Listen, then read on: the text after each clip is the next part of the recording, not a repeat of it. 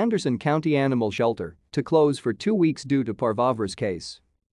The Anderson County Animal Shelter will be closed for the next two weeks due to a parvovirus case confirmed by a veterinarian, according to a social media post. The parvovirus case was presented during the intake of an animal and later confirmed.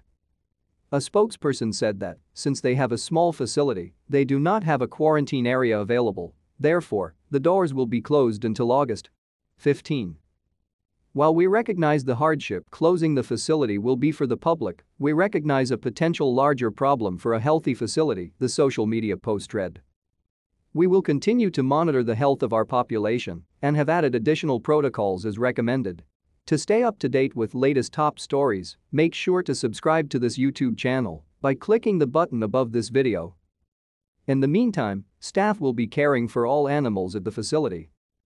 Employees will also be handling phone calls and talking to those interested in adoption through the process to make arrangements once the facility is reopened.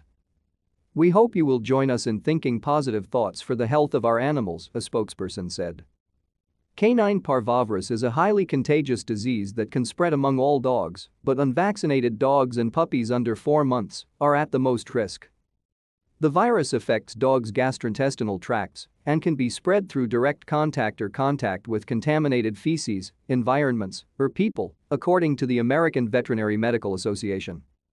Side effects include lethargy, loss of appetite, abdominal pain and bloating, fever or low body temperature, vomiting, and severe, often bloody, diarrhea, the AVMA said.